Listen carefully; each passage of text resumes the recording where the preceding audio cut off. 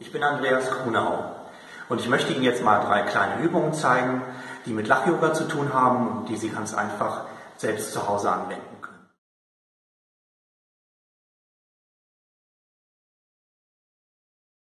Jetzt hier drei kleine Glückssmileys, die kann man sich zum Beispiel im äh, Spielwarenhandel besorgen oder Sie können auch einfach äh, Kaffeebohnen oder etwas ähnliches nehmen.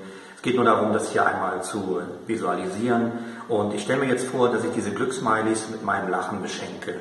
Ich lache sie an und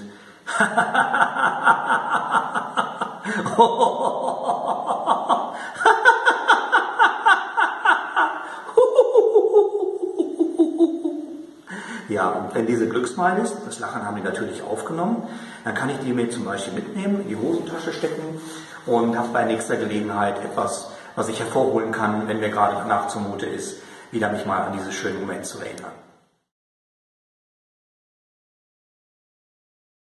Ein Lach-Yoga-Klassiker für euch, den man überall machen kann, wo man gerade ist. Und der ist ganz einfach. Er geht so.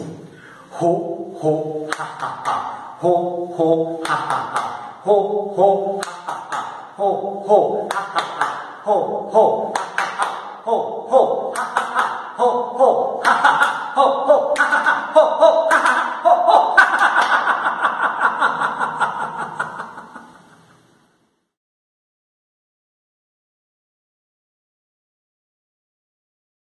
Drittes stellen wir uns vor, wie wir einen großen Lachballon gemeinsam aufblasen.